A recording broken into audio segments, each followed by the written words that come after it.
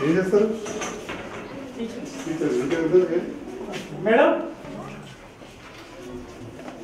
ఒకటే క్లాస్లో ఫస్ట్ సంవత్సరం ఉందా అంటే ఇందులో ఒకటి డివైస్ చేసింది సార్ మేడం నమస్తే స్టాప్ అయింది ఆ, పిల్లలకి సార్ ఎన్ని మందినా అసలు క్లాస్కి అంతే ఉన్నారు సార్ ఫస్ట్ క్లాస్లోనే ఎక్కువ ఉన్నారు.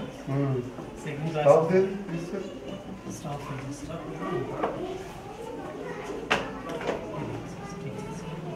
పేరేంటి గంగాధర్ గంగరాజు గారు? ఇది హెచ్ఎం సార్. మీరా? ఆడిట్కి వెళ్ళి మేడం సుజాత గారు? వీళ్ళు డిప్యుటేషన్ సార్. ఎక్కడికి? Puranpet school. అంటే స్ట్రెంత్ తక్కువ ఉందని యాక్చువల్? దాదాపు వన్ మంత్ అవుతుంది సార్. మరి ఇక్కడ పేరు ఇంకా? డిప్యుటేషన్ అంటే సత్యనారాయణ సత్యనారాయణ గారు? సత్యనారాయణ రెడ్డి. మీ ఫాదర్ ఫాదర్ సత్యనారాయణ గారు? మీరు సత్యనారాయణ?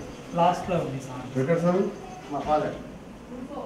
మీరు మల్లికార్జున్? మల్లికార్జున డిప్యుటేషన్. ఇద్దరు డిప్యుటేషన్ వెళ్ళారు సార్. సుంతా మేడం ఉన్న మల్లికార్జున సార్. మార్కెట్ స్కూల్కి సార్ వెళ్ళండి. ఆ. మేడం ఏమో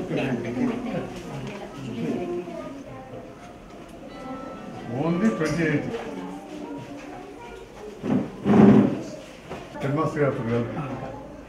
అంటే సెవెన్ క్లాసెస్ ఉన్నాయి యూపీఎస్ కాబట్టి.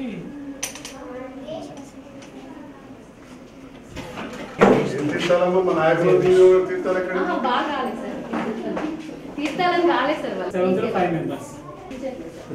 రాసిందని ఏ క్లాస్ కింద వ్యవస్థ.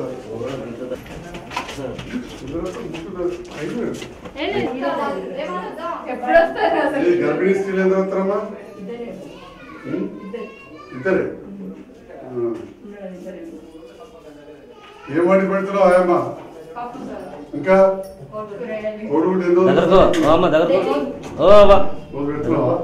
అరే దగ్గరకో ఓ ఇక్కడ అంగన్వాడీలు ఎన్ని ఉన్నాయి? ఇంకోటి ఇక్కడ ఉందా? అక్కడ. అక్కడ ఎంత ఉంటారు. ఏం పేరు? పెట్టావా.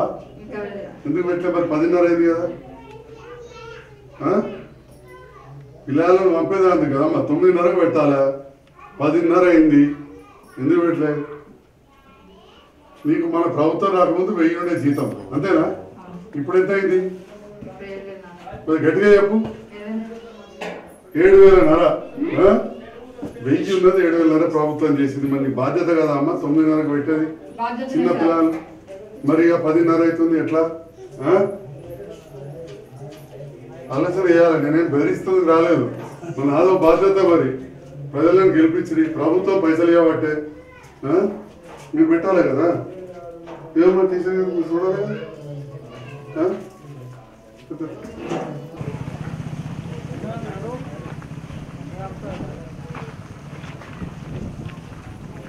మేము పార్టీ ఆఫీస్కి చెప్తాం. నమస్తే కదా ఎటు పోయారు మరి స్ట్రెంత్ బాగా తక్కువ ఉంది. మొత్తం దిగుడు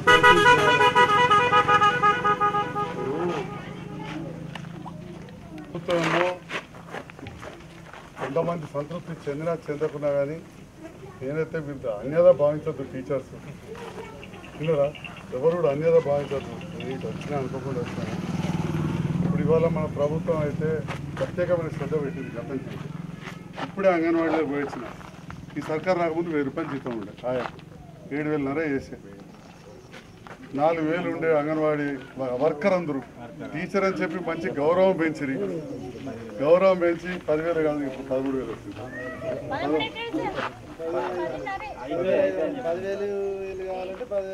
పదివేలు ఐదు వందలు.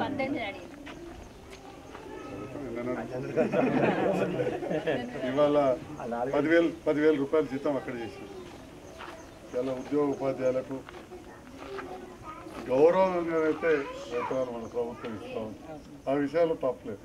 ఇంకా ఇంకా కావాలని మనకు ఉండొచ్చు పిఆర్సీ కావాలని అయ్యాలని కానీ. గౌరవంగా అయితే ఈ ప్రభుత్వం కానీ ఇప్పటికే మీ అందరు తెలుసు రేషనలైజేషన్ అంటే పిల్లలు లేకపోతే పాఠశాలలు తీసేయడం అనేది తెలంగాణ రాష్ట్ర ప్రభుత్వం వచ్చాక పెట్టింది కాదు. దాదాపు తెలుగుదేశం ప్రభుత్వం పెట్టింది. ఆ తర్వాత కాంగ్రెస్ గవర్నమెంట్ ఉన్నప్పుడు కూడా అది అట్లనే ఉండే. ఇప్పుడు కూడా ఉన్నా కానీ ఈ గత నాలుగైదు సంవత్సరాలు చూస్తా ఉన్నాం. నేను ఇక్కడ స్థానిక ప్రజాప్రతినిధులను గ్రామస్తులను అదేవిధంగా టీచర్లను కూడా కోరుతా ఉన్నా. సంఖ్య పెంచిపియాలి. మన ఇక్కడ తిమ్మాపూర్ రఘురాంలో ఒకట పిల్లలు ఇక్కడ నుంచి ఎంత ఖర్చు ప్రభుత్వం పెడుతున్నది అనేది ఇవాళ లెక్క లెక్క తీస్తే యాభై వేల నుంచి లక్ష రూపాయలు పెడుతున్న స్కూళ్ళు కూడా ఉన్నాయి. ఒక్కొక్క విద్యార్థి మీద గురుకుల కాదు కాలు ఇక్కడ స్కూళ్ళ మీద. ఆ డబ్బంతా ఇవ్వాలి మరి మన ప్రజలే కదా.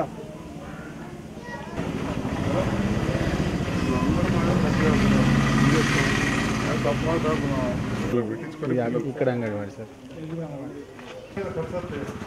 నేను రాజీనామా పెడుతున్నాను ఎమ్మెల్యే పదవి రాత్రి ఒకసారి ఇరవై ఐదు లక్షలు ఖర్చు అవుతారా సంవత్సరం ఈ నగరాల కోటలో ఒక బల్లె ఒక్కొక్క విద్యార్థి మీద లక్ష రూపాయల పైన ఖర్చు పెడుతుంది ప్రభుత్వం విద్యా వ్యవస్థను పట్టించుకుంటలేదని చెప్పి రోజు ప్రతిపక్ష నాయకులు మాట్లాడతారు ఏం తక్కువ చేస్తుందా ప్రభుత్వం సరే ప్రజలకు తెలిసిన వాళ్ళే తెలిసి మాట్లాడడం అది తెలియక కాదు.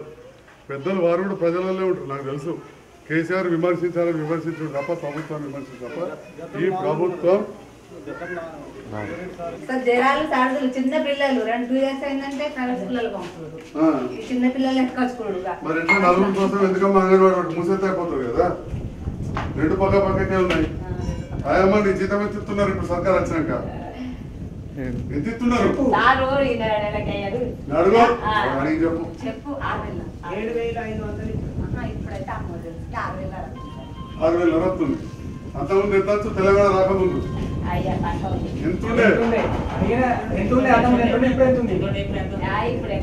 అప్పుడు ఎంత ఉండే చెప్పు? వెయ్యి రూపాయలు. పదివేలున్నర. మరి రకంగా మీకు పదివేలున్నర. ఆమెకి ఏడు వేలు.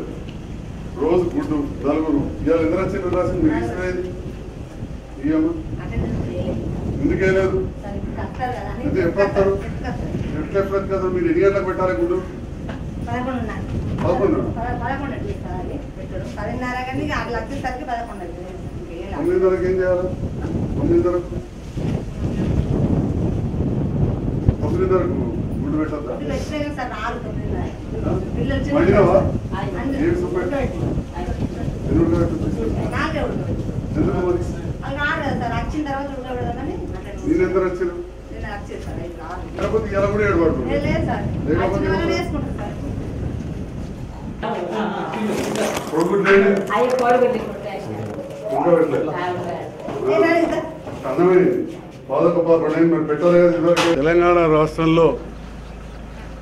గర్భవతిలో ఉన్న స్త్రీ నుంచి పుట్టిన బిడ్డ నుండి చనిపోయేంత వరకు కూడా సంతోషంగా ఉండాలని చెప్పి తెలంగాణ రాష్ట్ర ప్రభుత్వం ఒక మహిళ గర్భవతి కాగానే ఇవాళ టీకాల సమయం నుంచే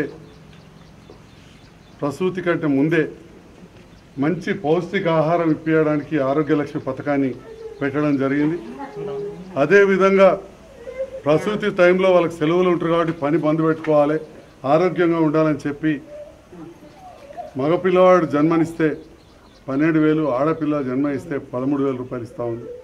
ఆ తర్వాత సంటిపిల్ల పెరిగిన తర్వాత అంగన్వాడీ స్కూల్లో ప్రతిరోజు కోడిగుడ్డు పౌష్టికాహారం ఇవ్వడానికి అంగన్వాడీ ఆయాలకు గతంలో వాళ్ళకు భోజనం కాదు కదా ఏం మాత్రం సరిపోకుండా వెయ్యి రూపాయల జీతం ఉండేది. అట్లాంటిది ఇవాళ ఏడు వేల రూపాయల జీతం. అంగన్వాడీ టీచర్లకు పదివేల ఐదు వందల రూపాయల జీతం ఇచ్చి ఈ తల్లి పిల్లల సంరక్షణ కోసం పెడితే ఇవాళ తిమ్మాపూర్ రఘురాములకు కూడా వస్తే నిజంగా దయనీయ స్థితి. అందులో ఒక నలుగురు పిల్లలు ఇందులో ఒక నలుగురు పిల్లలు. ఉన్న పిల్లలు రావట్లేదు. తల్లులు ఇద్దరిద్దరు ఇక్కడ రెండు అంగన్వాడీలు. అంటే ఈ రెండు అంగన్వాడీల పైన ప్రభుత్వం ఎంత ఖర్చు పెడుతున్నది అనేది ప్రజలు ఆలోచించాలి. ఇది ప్రజల సొమ్ము. ఇంకా కూడా చాలాసార్లు ప్రభుత్వం ఏం చేస్తలేదు అంటున్నారు. మరి ఇదే నిదర్శనం ఎంత పెద్ద మొత్తం ఖర్చు పెడుతున్నది. ఒకవైపు పాఠశాల చూస్తే నలుగురు ఉపాధ్యాయులు ఇరవై ఏడు మంది పిల్లలు. అంగన్వాడీ రెండు సెంటర్లకు పోతే ఇద్దరు టీచర్లు ఇద్దరు ఆయాలు పిల్లలు ఎనిమిది మంది. ఇది ఇక్కడ పరిస్థితి. మరి ఒక్కొక్క పిల్లగాని మీద లక్ష రూపాయల ఖర్చు అవుతున్నది. ఇది ప్రభుత్వ సొమ్ము. ఇంకా ప్రతిపక్ష నాయకులు విద్య పట్ల పట్టించుకోవట్లేదు. తెలంగాణ వచ్చి ఏంటంటే తెలంగాణ వచ్చి ఎన్ని చేయాలని ప్రభుత్వం చెప్తా ఉన్నది. గతంలో కంటే ఎన్ని రెట్లు చేస్తుందో ఒక్కసారి వెనుకకు తిరిగి చూసుకోవాలి. ఈ రోజు విద్య గురించి విమర్శించే నాయకులు ఒక్కసారి గతం ఆలోచించాలి.